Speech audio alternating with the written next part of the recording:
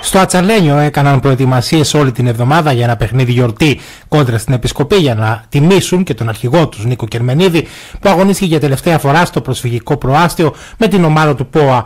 Ωστόσο, ο ξαφνικός χαμός, ο άδικος χαμός του Κώστα Πεχινάκη, της ψυχής της κερκίδας για το γήπεδο του ΠΟΑ, έφερε πένθος σε ολόκληρο το προσφυγικό προάστιο και σήμερα ο ΠΟΑ τίμησε τη μνήμη του και στη συνέχεια τίμησε και τον αρχηγό του. Σε ένα παιχνίδι με έντονα συναισθήματα, η ομάδα του Ατσαλένιου πήρε την νίκη που τόσο ήθελε και ουσιαστικά αγκάλια στην παραμονή και μάλιστα με σκόρερ τον Κερμενίδη με φάουλ στο 72ο λεπτό, ενώ ο Πόα είχε πετύχει γκολ και λίγο πριν το οποίο δεν είχε μετρήσει. Αυτό το αποτέλεσμα ουσιαστικά κάνει την ομάδα του Ατσαλένιου σχεδόν σίγουρη για την παραμονή της στην κατηγορία που αναμένεται να εξασφαλίσει τις τελευταίες αγωνιστικές. Να αφιερώσουμε την νίκη καταρχάς στον Κώστα ένα παιδί που αγαπούσε την ομάδα ανιδιοτελώ, ε, την έβαζε πιο πάνω και από τον εαυτό του. Τον ευχαριστούμε πολύ για όλα αυτά τα χρόνια που στηρίζει την ομάδα. Ε, να πω ότι ήταν ένα πολύ δύσκολο παιχνίδι.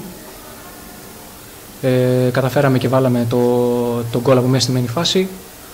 Ε, θεωρώ ότι δεν απειληθήκαμε ιδιαίτερα. Καταρχάς να ευχαριστήσω τον Μπόα για την αγάπη που μου έχει δείξει όλα αυτά τα χρόνια ε, τον πρόεδρο, τον κύριο Λέλεκα, ο οποίος μου έδωσε τη δυνατότητα να παίξω σε ένα σωματείο που προάγει το ήθος πάνω απ' όλα ε, και μετά το ποδόσφαιρο. Ε, δεν το πίστευα ότι υπάρχει μια τέτοια ομάδα η οποία θα με έκανε να αισθανθώ τόσο οικία. Τον ευχαριστώ πάρα πολύ γι' αυτό και όλους τους ανθρώπους που ήταν κοντά στην ομάδα και, και σε μένα. Στο το οτιδήποτε ζήτησα ήταν πάντα δίπλα μου. Ένα παιχνίδι το οποίο όπως και να το κάνουμε τοπικό ντέρμπι ε, μεταξύ δύο ομάδων από την Κρήτη με διαφορετικούς στόχους. Εμείς νομίζω ότι διαχειριστήκαμε το παιχνίδι πάρα πολύ καλά, το περιμέναμε που θα έχει ένταση.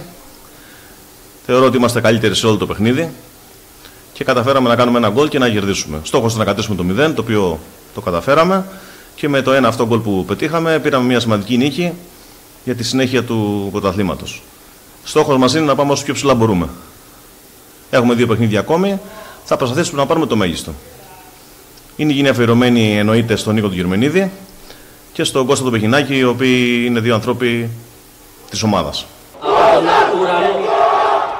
Κώστας και μετά